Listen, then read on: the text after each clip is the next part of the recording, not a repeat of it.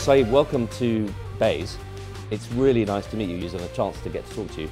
You've done something really exciting, developed uh, a game, uh, some software that, will you tell me? So we are a young startup based in London. We are making a game to inspire STEM learning, especially for young people and female players.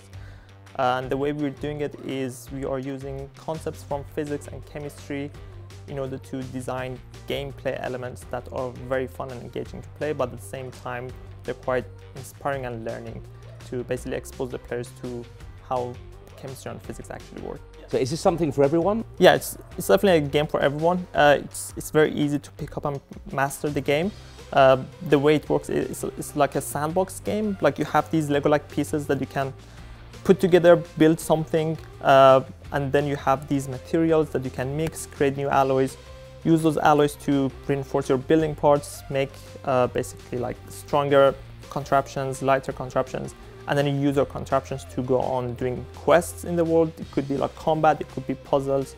Uh, so, so that's really the idea. I, as Minister for Science, Research and Innovation, get to see very privileged access, and I've, I know how powerful the UK games industry is. Incredibly dynamic, creative, entrepreneurial sector. And it's not just games, because a lot of these are now driving big in innovations in mental health, in dementia diagnosis, in neurodegenerative pathways. So this is a really interesting sector, and you're literally at the front end of it. Can you just talk through the, your, your journey? Sure. So a year before applying to university, I wanted to do mathematics, uh, but somehow I got very interested into black hole, quantum physics, all of that. And then I thought, okay, I'm going to go for physics. But I got into Imperial College, so that was very good. Uh, I did my undergrad there, then went to Cambridge to do my master's. Uh, and then I did my PhD at uh, PhD in physics at Imperial College again. And from then onwards, I decided that I want to bring my innovation to the world. So I started my company. My, my first company actually failed, so this is the second they one. They often do. I mean, that's. Yeah. I, have yet to meet a, su a, successful entrepreneur who didn't didn't fail early on. It's, yeah, it's a badge of honor. Yeah, it's it's all learning. It's yeah. all a learning experience. Yeah. Um, just tell me a little bit, will you, about this? I think you you won an award at Imperial to work on the first company, uh, and then you've won the Young Innovator Award. Can you just say a little bit about how that's helping you to grow the business? Sure. So Young Innovator Award has been a massive help because I'm getting a lot of business support from my uh, champion. Uh, and on top of that, we obviously get access to a huge network of people who help us uh, in so many different ways. And on top of that is basically the, the financial support we get to push the business forward. How many of you are there at the moment? Is, is it just you or a few people? And, and what are the ambitions?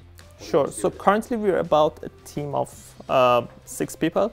And currently we're pitching to investors and publishers, and we've already gained some attention from them, although no commitment yet. Uh, so I, I, think we would be having some breakthroughs soon. Fantastic. Yeah. Fascinating. So my background was in biological science, mainly uh, med tech and some clean tech and agri tech, and I've I've been heard at times to say, look, we've had the age of chemistry in the 18th and 19th century, we've had the age of physics in the 20th century, yeah. now we're in the age of bioscience. Actually, in this job, I've come to realize physics is not finished yet. There's some amazing science coming out of uh, physics. What's the thing that you would ask me to do to encourage a new generation of youths to do more of this? Uh, but I do think that young people are not exposed enough to what STEM actually means, what physics actually means. Uh, I mean, like a lot of things we learn at school are just like on paper. Uh, they, they don't really get to experiment with them enough. Uh, but I, I, think you as the Minister of uh, science and innovation can definitely do something definitely, about that. Yeah. Science is about uh, free thought, free thinking, free expression, diversity mm. of ideas, challenge, uh, and we need all sorts of people and yeah. all sorts of cultures in science. Well, Seyed, thank you very much. I mean, A, for coming in and telling me all about the company. And thanks so much for having me here. It was, it was an honor to speak to you.